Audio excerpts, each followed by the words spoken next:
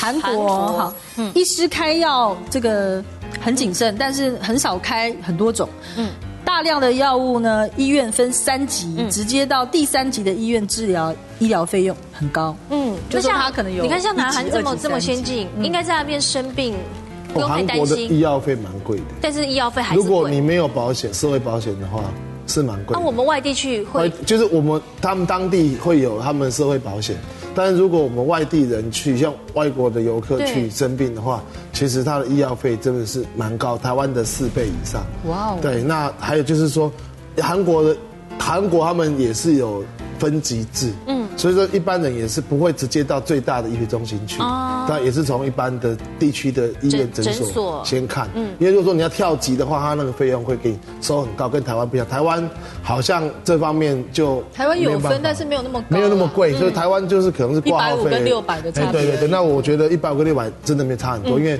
我们的起步价就便宜。可是韩国有可能它是两三百跟两三千，嗯，那种差别可以差到十倍了。对，就很多倍这样。是好，欧美再来就是欧美医疗费用很高，看小感冒啊，常常要花数千元台币。而且啊，我觉得还要补充一点，是你还不见得能够看得到医生，嗯因为常常你如果只是小感冒，你可能要排到两三个礼拜之后，然后到时候你感冒也都好了我讲我一个自愈力都好了。我讲我一个荷兰的朋友的例子，他是最经典的例子。嗯，我有一个荷兰的朋友，他是一个荷兰的一个老先生，他他已经退休了。嗯，有一有一天呢，他突然写一封 email 告诉我说，Ringo，我决定要到，我现在已经在泰国了，然后我就要在泰国 long stay。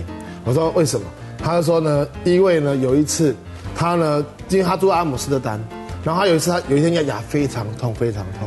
然后呢，他牙很痛之外，他就想办法找他的牙医。就他的牙医说呢，叫他三天后去见他。他他快疯掉，他已经是已经是吃不他已经痛到打滚整个人快要痛到打滚了。他火大了，他直接就跑去阿姆斯特丹机场买一张机票，直接飞泰国，因为荷兰飞泰国才八个钟头。他早上就直接出门就直接买机票，他晚上就已经在曼谷，他马上就就去曼谷医院，马上去看去看，把他牙齿都看好了。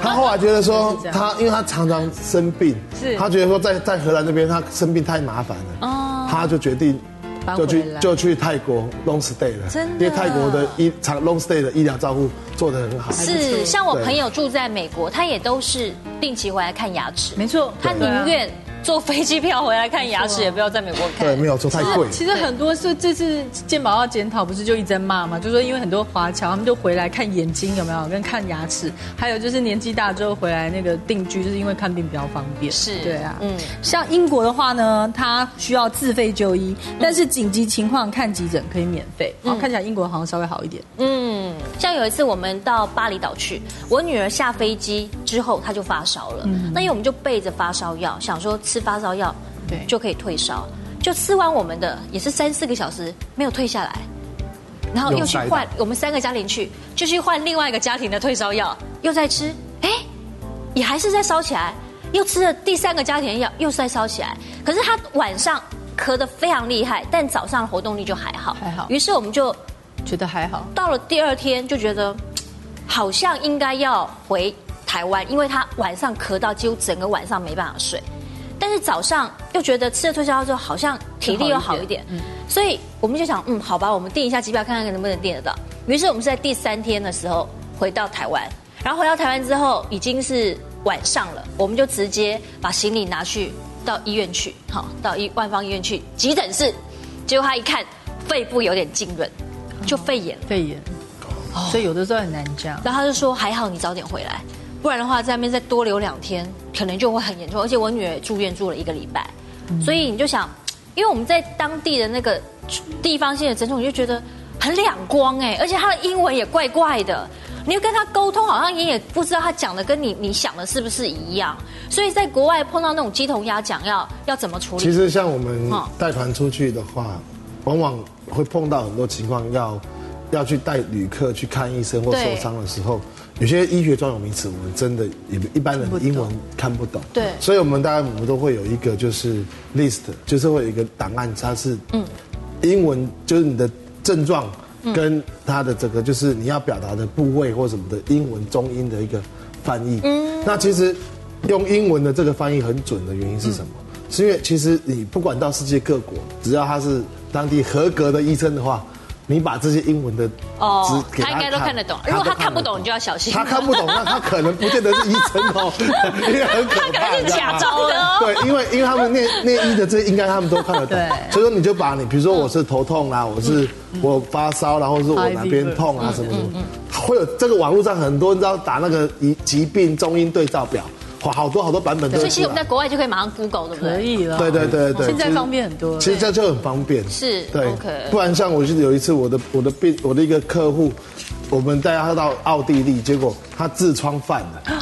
他那痔疮痔疮犯到。痔疮可大可小。哦，他跟你讲，他那个是很严重的，因为他是坐也不是，站也不是，他坐在游览车上是坐立难安。晚上睡觉也没办法好好睡那一种的，已经是很严重挡紧了。嗯，所以说送到医院去的时候，讲真的，那个痔疮的英文我真的不会讲，不会讲，我真的不会讲。后来这真的就是我只好用笔的笔给医生看，医生一看他就懂了。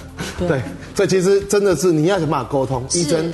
他会让他知道他的症状，是不然你也带个手机，现在智慧型手机对查都很方便，现电脑很方便。是好，那我们接下来就来看看，呃，我们统计出了在国外旅游最常发生的呃几个疾病，好，我们来看一看。第一个就是既有的一些疾病的恶化，例如说你本来就有高血压啦，你本来就有心血管的问题啦，或是你有糖尿病，你本来就有晕眩的问题啦，或者是经济舱症候群，这个就太好命了，不能做经济舱哈，或者是说你有。呃，这个消化不良啊，食物中毒啊，急性肠胃炎，其实这个在国外还蛮常见，常见的。那第三点就是食物或接触性过敏的反应。对，嗯，这我曾经有过一次，我在香港，那是那次是我出差。说女。